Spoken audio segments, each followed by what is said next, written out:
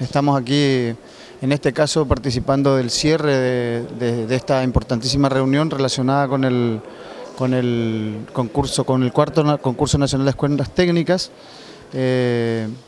bueno, conversando con los jurados que han participado en, este encuentro correspondiente a la región NEA, en donde eh, los jurados se han juntado, digamos, se han este, acercado hasta la ciudad de Formosa para poder realizar eh, la evaluación correspondiente a la región NEA de los trabajos presentados por los distintos establecimientos educacionales eh, que han participado y que se han inscrito y que han participado en este evento, ¿no es? A partir de un importante incentivo que parte del Ministerio de Planificación, Inversión, Obras y Servicios Públicos de la Nación, a través de la Subsecretaría de Vivienda de Nación,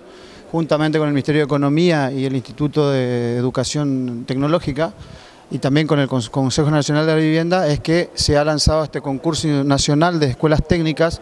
que tiene como objetivo básico eh, permitir, digamos, que cada alumno que esté cursando los últimos años de las escuelas técnicas, en particular en, la especialización de maestro mayor de obras relacionado con la construcción,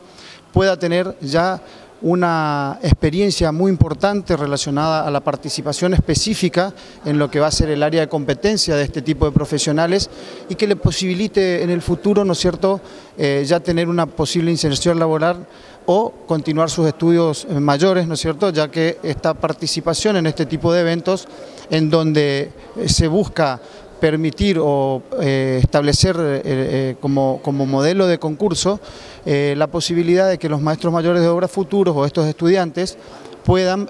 planificar o idear una vivienda que sea socialmente accesible, sustentable, con economía de materiales, con este, un cuidado por el clima eh, y en, determinadas circunstancias especiales, como en este caso en donde se planteó la,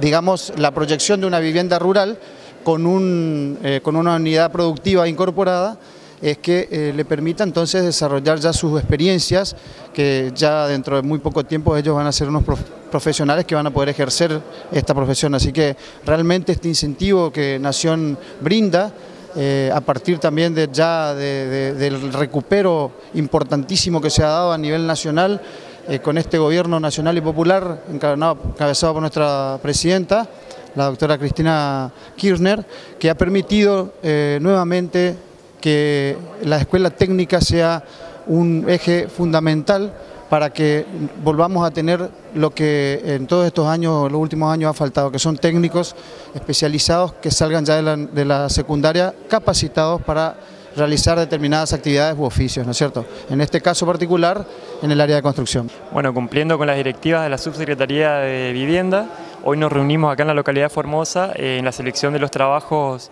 que van a, que van a, se va a elegir, digamos, el trabajo ganador a nivel regional y un segundo puesto. Eh, el trabajo ganador va a pasar a una instancia nacional, que será el 20 de diciembre, se elige a nivel nacional el ganador.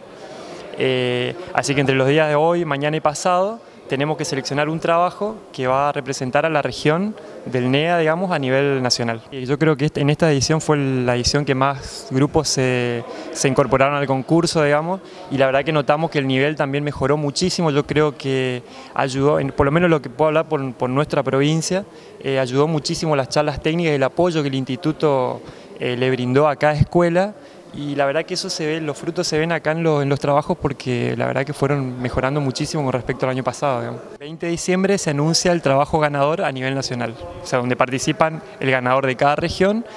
y se elige ya el trabajo definitivo que va, que va a ganar, digamos.